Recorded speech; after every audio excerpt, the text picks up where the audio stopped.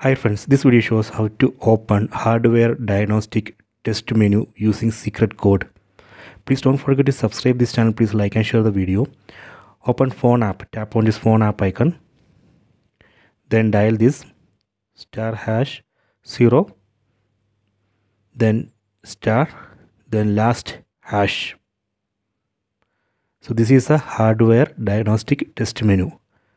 So here we can test for example we can test uh, touch. See touch screen we can test. Just complete this test. If we are able to complete this test that means touch screen is good. Done. So you can try other options here.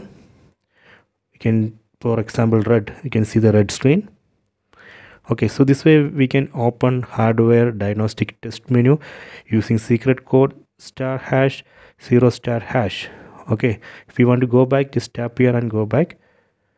Please check it